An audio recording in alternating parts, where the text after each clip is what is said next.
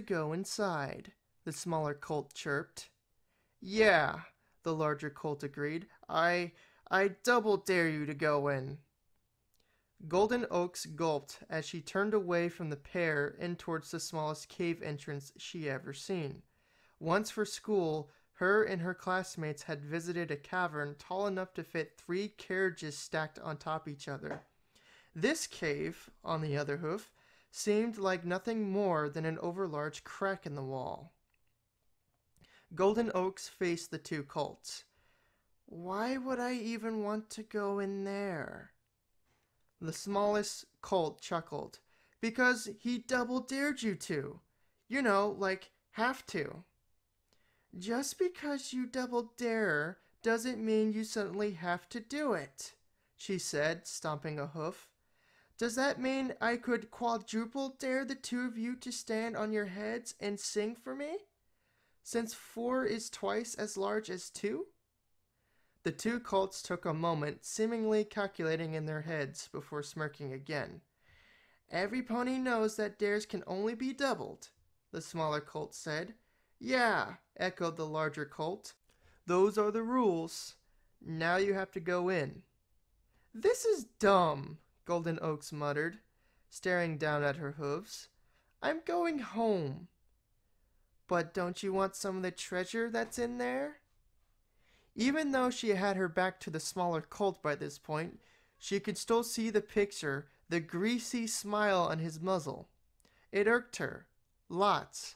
But what irked her even more was the fact she stopped in her tracks right after hearing the word treasure.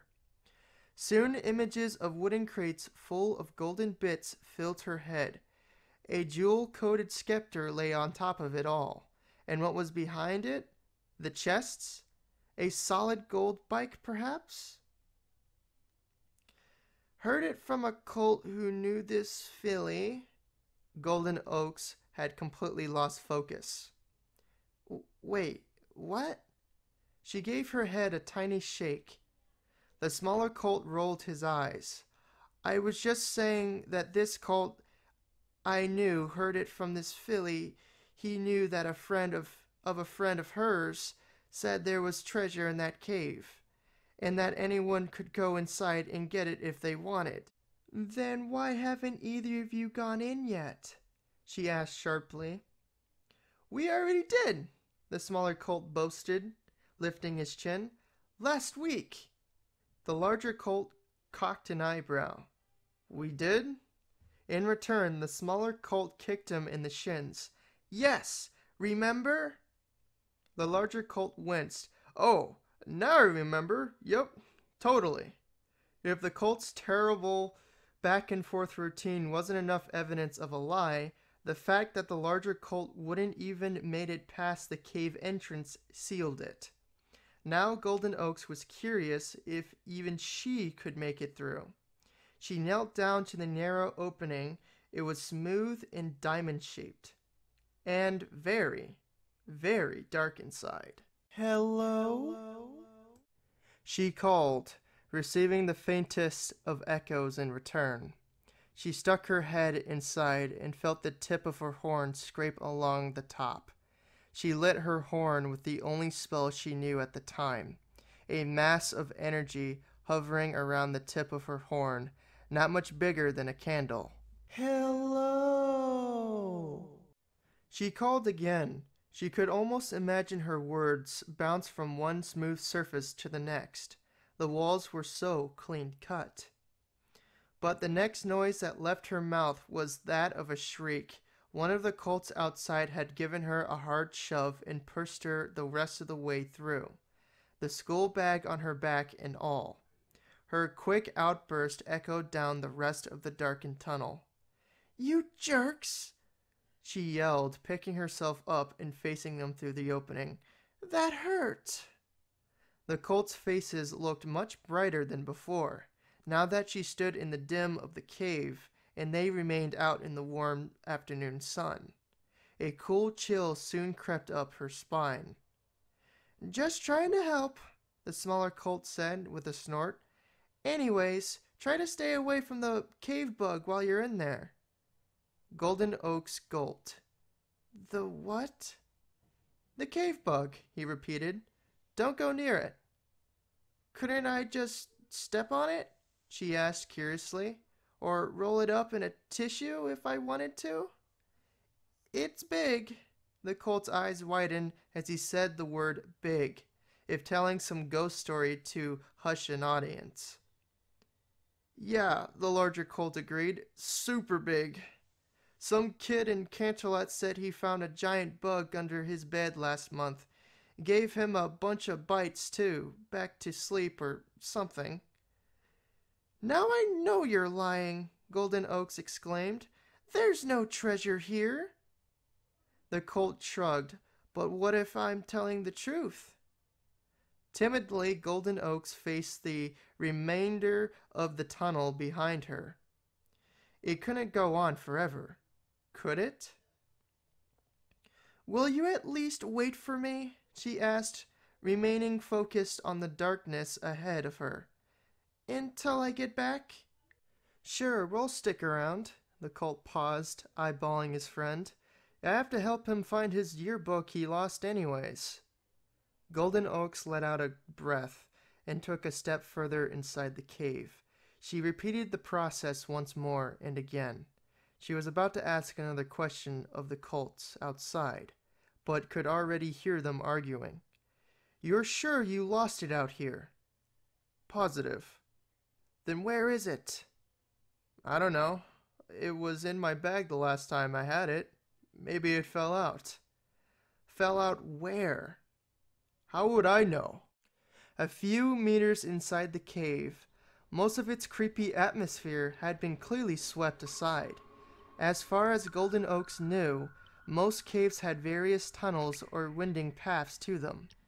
Odd shaped rocks, stalactites or stalagmites, too. The cave that she was in now? None of that. At one point, she took a right and found the path ended only 12 steps later. The same for when she took a left and found the end of the path in less than six paces. The only point of interest was when Golden Oaks had to crawl on her belly to slide under a rock jutting out from the ceiling. Afterward, she had to nab her school bag off the ground and drag it back to her. And just like that, Golden Oaks reaches the end of the cave. Just how long she's been marching alone in the dark. It felt like mere moments. Three minutes, tops. Her shoulders slump and as she sighed. All this way for nothing? She muttered to herself miserably, glancing around the small area. She half expected the two colts from school to hurriedly jump out from behind a rock to try and scare her. One of them dressed as a big, nasty bug. Perhaps. But no, she found there was no surprise laying in wait at the back of the cave for her. After all, no treasure either. Only a dumb stone wall, she spat, shoving her hoof against the cold rock surface. She gasped as it easily pushed inward, creating another small hole to enter. Flickers of red light danced around the edges. Tentatively, Golden Oak stuck her head inside stopping the spell on her horn instantly. She wanted to gasp again, so she held out a hoof against her mouth to stifle it. The very last room inside the cave was a whole lot larger than the rest, round and tall. The tips of its ceiling remained in shadows. Countless stacks of books circled the room, piles on each other until they toppled over. Most text laid upon repair, tattered, torn, and even wet. Taped up on the walls were dozens of large pictures, crude and childlike. Markers, paint, pencils, and ink? A small fire burned on the floor, well away from anything that might catch. It must have been magically made too, as no trail of smoke drifted off of it. From the room's small doorway, Golden Oaks counted for mismatched rugs and one immense wooden desk at the very center of all of it. Two of its legs had been broken and replaced by thick stacks of books. One chair sat in front of it, another behind. And in the chair behind the desk sat Miss Cheerilee? Golden Oaks chirped, forgetting she was trying to be quiet at the time. It took Miss Cheerilee an awful long time to set the book in her hooves down. She kept glancing from its pages down to Golden Oaks. She smiled, not showing her teeth. Her eyes remained half lidded and not as expressive as usual. Maybe due to the dim of the room? Ah, Golden Oaks, Cheerilee greeted warmly. How nice to see you again. But I, um, Golden Oaks was truly at a loss for words. What are you doing here? Miss Cheerilee, weren't you just at the school? You only dismissed us a few minutes ago. It doesn't take me long to get here, Cheerilee replied, her small smile never departing from her lips. If you know the right way in, she motioned to the chair in front of the desk. Come, have a seat. Golden Oaks did as she was told, glamourating on the chair that felt as if it might fall to pieces at any moment. She knew the whole situation was strange. Beyond that, actually, but having Miss Cheerilee as her teacher over the last few years basically meant that if she asked something of you, you usually do it. Um, do you live here? She asked her timidly. Like, in here. Cheerilee laughed, not the same bubbly laugh that Golden Oaks had grown accustomed to. Oh, no, I'll only be here for a short time, I think. So, you have a. a normal home, like most ponies do? The question gave Cheerilee a pause. I used to, yes, but I'm not sure I'll find a permanent place soon. Now in a higher position up on her chair, Golden Oaks was able to make out the book Cheerilee had been glancing at before. It was their school's yearbook, left open on a particular page.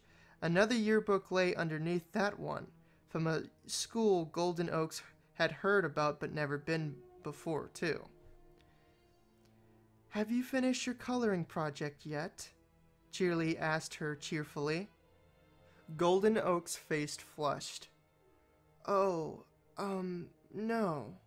She grabbed at her school bag and pulled out a half-finished drawing. I've only done the background and outline. Really?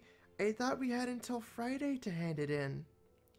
Cheerilee nabbed the drawing from her suddenly, bringing it close to her face. Her smile widened until dimplets appeared.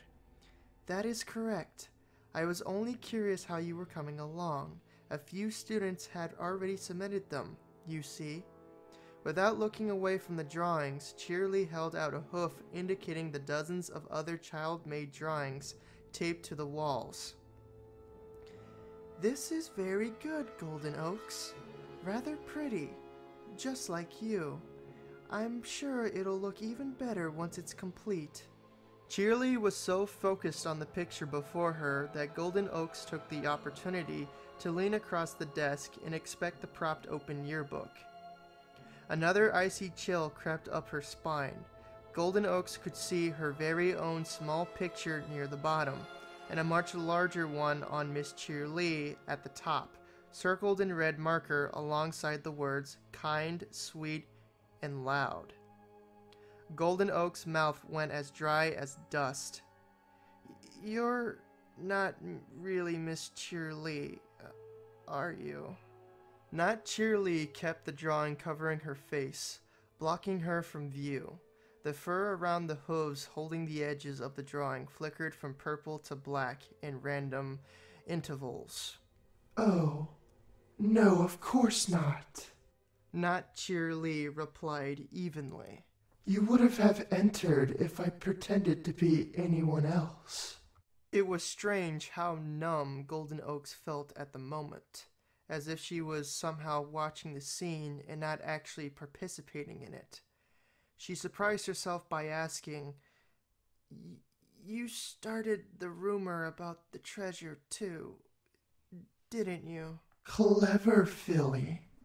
Even with the paper still blocking Not Cheerilee from sight, Golden Oaks thought she might be smiling, this time with her teeth visible.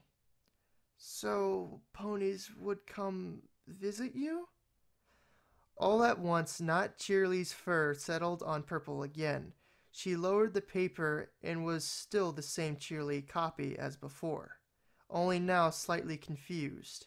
Sad, too? Now, just why would you say something like that? She asked in a hushed tone. Golden Oaks shrugged. It still felt like she was watching events unfold without her involvement. Maybe you're lonely? Lonely? Not Cheerilee said, seemingly disgusted by the word. I have my books. I have my stories. I have my pictures. I have my memories. My many, many memories. There's only one other thing I need in this world to keep going, and. Have you thought about not living in a spooky, dark cave? Golden Oaks cut in. I think if you weren't so difficult to find, more ponies would come visit you. Neatly and gently, Not Cheerilee folded the drawing back up and set it at the corner of her desk. She looked away from the filly as her eyes shimmered, but only for a moment. Nice attempt, young one, but that's not how things work around here. Again, she smiled, big and bright, and somehow she had more teeth in her mouth than Miss Cheerilee ever had. Sharp ones, too. You came in here searching for treasure, did you not? Not Cheerilee said in a far lower voice than before. Bits piled to the ceiling? Riches beyond measure. She left her chair abruptly, roughly knocking it to the floor. That was also when her skin began to change. Not all at once, but over time.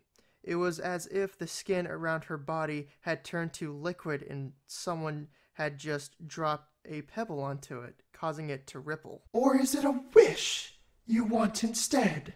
Not Cheerilee asked angrily, slowly circling around the desk.